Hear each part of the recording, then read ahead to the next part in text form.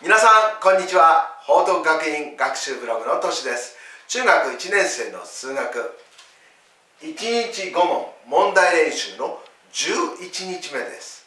では問題を見ていきましょう。四角1次の計算をしましょう。括弧13分の1割る 0.4×5 分の4分数と小数の入っている割り算と掛け算ですね、えー、この場合は小数を分数に直して計算していきます、小数0.4ですね。小数第1位が4なのでこれ0.4は10分の4と考えますね。約分できるので約分すると5分の2になりますからこの形を使います。ですから3分の1割る5分の2る5分の4こういう形になります。この割り算の部分を掛け算に直すと3分の1かける逆数になって2分の5かける5分の4こうなりますね。ここで約分できるところ約分しておきます。5と5が約分できますね。2と4が約分できます。そうすると分母は 3×1×1 で3と。分子は 1×1×2 で2答えは3分の2こうなるんですね。では括弧2番に行きましょう。14分の 9×18 分の5この状態でもう約分しちゃいましょう。約分できるのは9と18ですね。どちらも9で約分すると18は2になって9は1になりますね。ですから分母 14×2 で28、えー、分子は 1×5 で5答えは28分の5こういうことですね。括弧3 5分の4割る3分の2分数の割り算は逆数を使って掛け算に直して計算しました。ですから5分の4かける2分の3こうなります。約分をします。2と4が約分できますね。2は1に4は2でね。2で約分するとこうなりますね。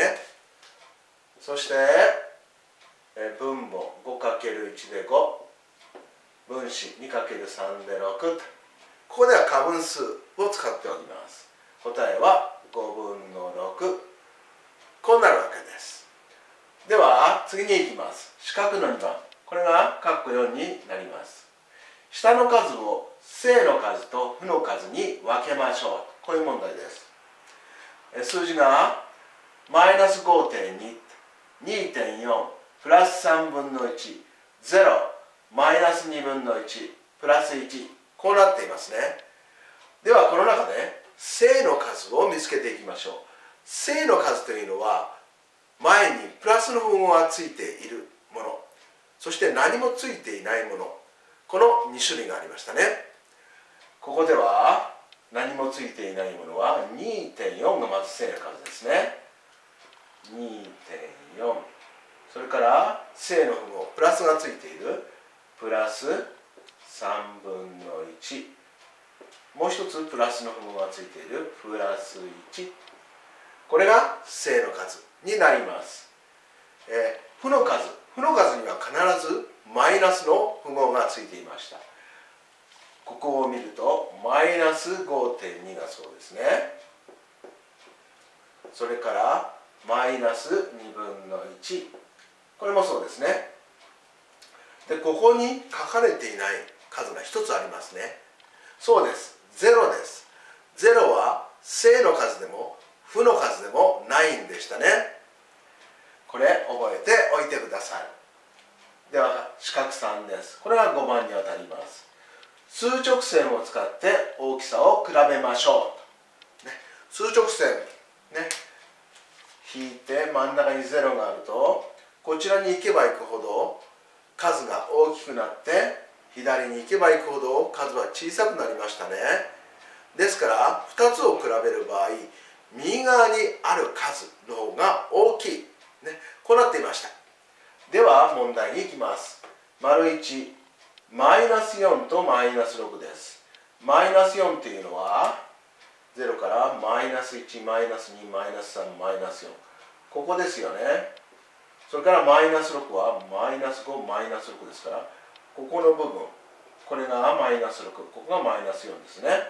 マイナス4の方が右側にあるので大きな数ということになりますからマイナス4の方に不等号が開いたマイナス4大なりマイナス6とこんな形になります。丸2番です。プラス3と0ですね。0はここにありますよね。プラス3はプラス1プラス2プラス3これプラス3ですよね。比べて分かるようにプラス3の方が右側にありますからプラス3の方が大きいとなります。ですからプラス3の方に不等号が開いた。こんな形。プラス3大なり0、えー、こういうふうに比べることができます。よろしいでしょうか？今回も小学校の算数の復習と中学校の正の数負の数の問題を解いてみました。今日も最後まで見ていただきどうもありがとうございました。皆さんはどうぞこの動画を参考に教科書や問題集の問題に取り組んでみてください。ではまたお会いしましょう。さようなら。